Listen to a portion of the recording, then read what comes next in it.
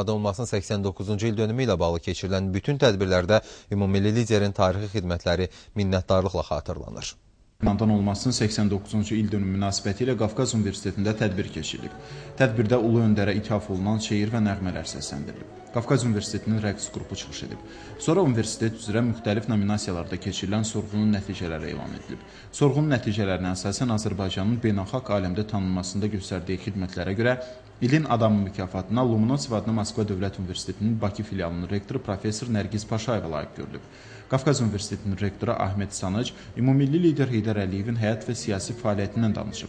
Lomonosov adına Moskva Dövlət Universitetinin Bakı filialının rektoru professor Nərgiz Paşayeva da Ulu Öndərin keçdiyi həyat yolunu nəzər salaraq onun təhsil və gənclər siyasətinə böyük önəm verdiyini deyib. Nərgiz Paşayeva sorğuda onu Azərbaycanın beynəlxalq arenada tanınmasında göstərdiyi xidmətlər görə tələbələrə minnətdarlıq edib, onlara uğurlar arzulayıb.